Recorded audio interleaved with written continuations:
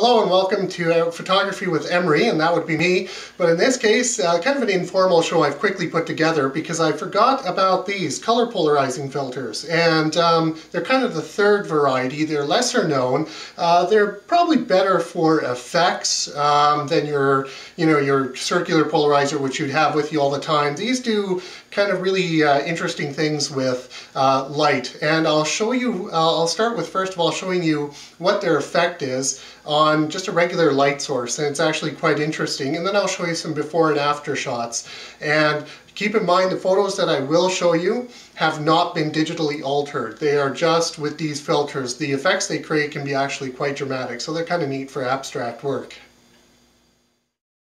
To demonstrate the color polarizing nature of these filters, I've pointed my camera towards my studio light and held up both filters in front of the lens.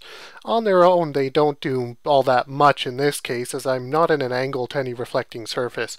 Basically, the same rules apply as with regular polarizing filters.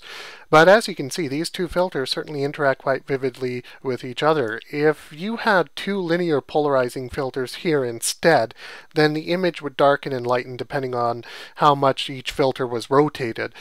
But in this case, as the filter furthest away polarizes the light, the second one polarizes again but changes the frequency of the light. In other words, changes the light's color. And here are the still photos. In these cases I had only one filter attached as the color of the sky would change nicely as I rotated the filter on my lens.